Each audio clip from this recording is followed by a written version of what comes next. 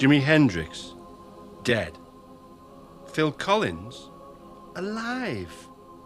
Ginger Rogers, dead. Sue Pollard, alive. Francis Bacon, dead. That bloke out of Kula Shaker, alive.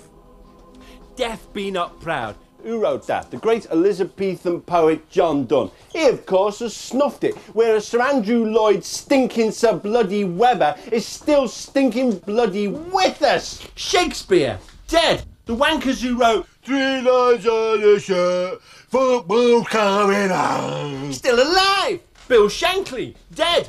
Graham Taylor, alive. Karen Carpenter, dead. The carpenter who f***ed up my bleeding kitchen, alive. It's as if God has developed a nasty, mean, selfish streak. Anybody the least bit decent and wallop, up they go. And what are we left with? The shite. That's what. I'll give you some more examples. Bloke down the pub said he was going to do my accounts and introduce me to some powerful people in American television.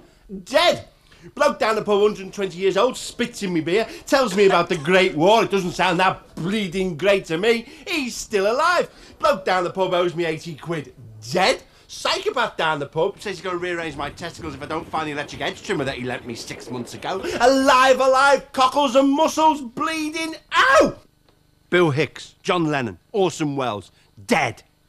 Michael Bolton, Michael bleeding Bolton. Roger Whittaker, Roger leaving of old stinking bleeding poxy Durham town Whittaker, still bleeding alive. I'll give you another example, bloke down the pub. He said to me, he said, Charlie, he said, because he's always too pissed to remember me bleeding name. He said, Charlie. Life is like a double decker bus. It's red. It's got an upstairs and a downstairs. Sometimes there's a conductor, but these days, usually just a driver. And yeah, you've guessed it, he's still alive, that twat! I mean, if you're mean, if you're selfish, if you've got no bleeding talent, you can do what you like, you'll live forever. But if you're the least bit good, if you're the least bit talented, then. No, it's all right. I'm shite.